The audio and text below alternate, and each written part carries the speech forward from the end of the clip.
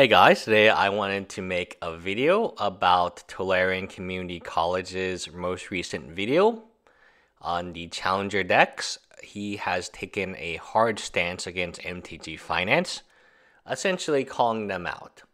So, Strictly Better summarized it very, very well. Usually, when the MTG Finance community is against a product, it usually means that the product is really good for the average player. So here's something I didn't see coming. As many of you know, I do not like the MTG Finance community. I do like MTG Finance, and I find it interesting.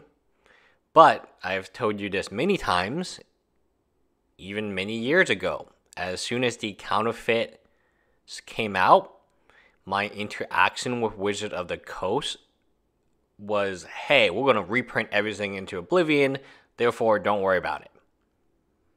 I immediately sold off my a large chunk of my collection. I did keep my Thalias, but I even sold off my Stoneforge Mystics, which I love them just as much as I love Thalia. But at the time, I was very spooked out by those emails because I was like, wait a second, what is the solution? The solution is you're going to reprint everything into Oblivion?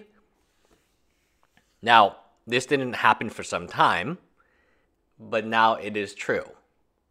MTG Finance, so this is from the MTG Finance subreddit, they do not like this. Here you have a moderator with the big M. Please do not lose out on the irony of this gentleman talking down about us MTG Finance users working to create our own prosperity while ending the video begging for money through Patreon.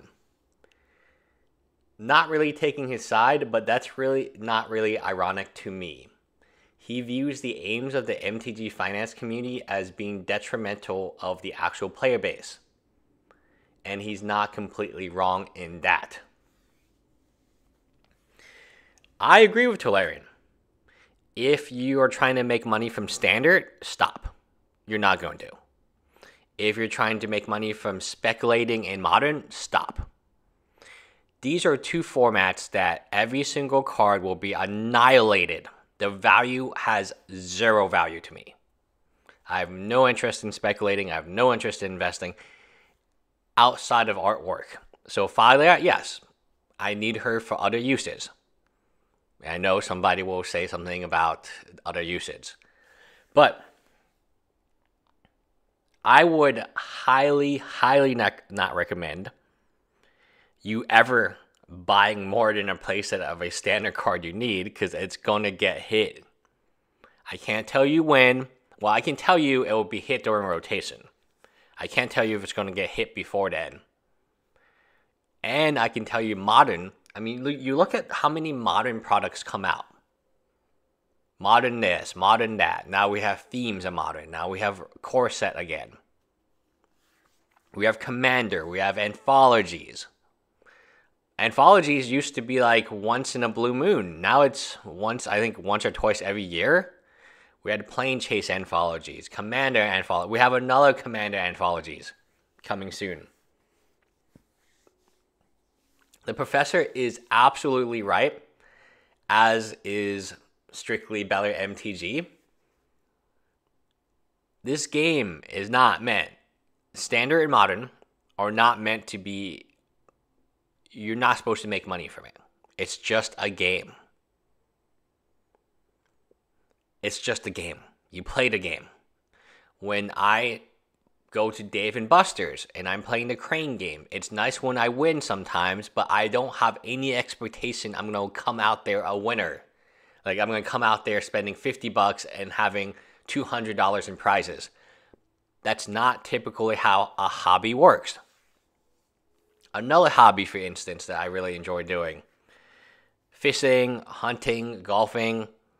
No one thinks, hmm, I'm going to make money back from doing this. For my license, right? I'm going to get a hunting license or a fishing license, and I just got to catch enough fish to uh, justify my license. No, I release all my fish, and I'm a terrible hunter. Like, I just like to have fun. It's fun to hang out with friends.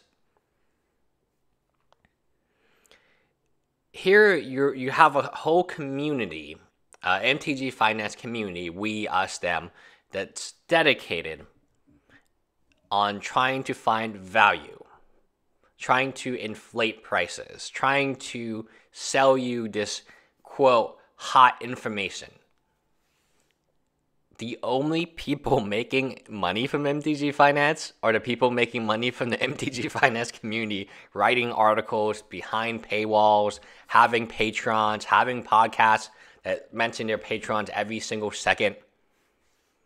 No one else makes money. And here, this is kind of like when you're in a Bernie Madoff Ponzi scheme, and a Ponzi scheme is it's a Ponzi scheme. Some people are so embarrassed that they just write it off and they don't they never mention it. They're like, oh well, that wasn't me. Was that you? Oh, it wasn't me either. I, I guess no one got ripped off on this uh, Ponzi scheme. Oh, that's great. In the whole neighborhood, you could see this a lot with Herbalife. Herbalife is a multi-level marketing scheme, I guess I would call it. And the scheme works. It's Herbalife is some type of like vitamin thing it doesn't really matter what they're selling. It could be Mary Kay, it could be Avon. It's the same Tupperware, same principle. You give someone the opportunity to create a business. LuLaRoe, that's another one that's been recently in hot water. You give them the dream that I'm going to sell you this dream. You can be a Herbalife. You can have this Mercedes Benz Herbalife car. And it's so ugly and you can meet all these celebrities like David Beckham, the Prime Minister of India, I think is on Herbalife. All these famous people who are promoting and loving Herbalife. That will be you one day. I'm selling you not Herbalife, but the opportunity to own your business, your own business, to be independent and to make a truckload of cash. All you got to do is sign up 10 more people like you. And those 10 people sign 10 more people. And MTG Finance is such BS. The community selling this dream that you don't need to go to college, you don't need to be educated, you can just make a living from MTG Finance. How difficult? I'm, I'm sure people have done it, but I'm positive they're not making six figures sorting bulk. I don't understand um, how you you have so many different paywalls, MTG price, MTG um, what's the other one? Speculation, quiet speculation. Even uh, Star City Games, their MTG Finance used to be behind a paywall. I don't read any of these articles, so I don't really care. You have all these people who want to make money from you, giving you MTG Finance advice, and the advice is such BS. And I'm glad this has happened. I enjoy MTG Finance as a hobby. If I break even, just like I go to a casino, if I break even a casino, I consider it pretty good. Yeah, that's that's pretty good.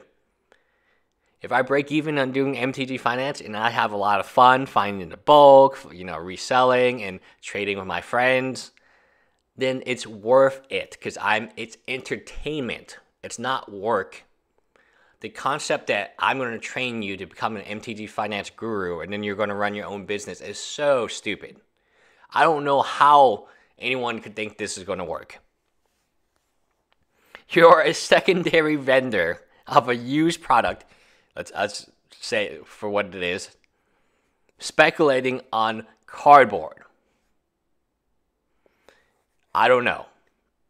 I don't know. I don't, I don't know let's say that you get really good at it and you're the number one MTG finance person. You take your resume, you go to Merrill Lynch, you go to Wall Street. You think they're going to take you, you think they're going to give you an introduction interview? No, the skills that you've learned, picking bulk and doing all this kind of really are not, it cannot be applied to a real job. So if you spent five to 10 years doing MTG finance, I'm sorry, but you probably don't really, you, you could have spent five to 10 years at a Walmart and then you would be a manager. Then you maybe you would be a district manager. If you work your ass off as hard as you would work in MTG Finance or as to survive, you could be something. You absolutely could be something. And those skills would transfer. You could actually put that on your resume. Okay. Um, small aside on Tolarian I don't agree with all everything he says, but I do agree with this that if the product is good, the MTG finance community won't like it. If the product is bad, the MTG finance community will like it. So their their goals are actually in many cases reverse of what the normal Magic players would be, which is to play the game. I have always said, I've always said I supported reprints. So I'm glad that Tolarian, who has much more influence than the MTG finance community, is taking this hard stance. This is the correct stance to pick. If you want to speculate on MTG Finance, standard, modern, leave that alone. You might be able to do some reserve list cards, but that's it. And at that point, you're pushing all the speculators into one area, and then you're telling, hey, no modern for you speculators, no standard for you speculators. You can just mess with those our reserve list cards. I think that's perfectly fine. Uh, I think you can have you can have your cake and eat it too. Anyway, that is it. Bye, guys.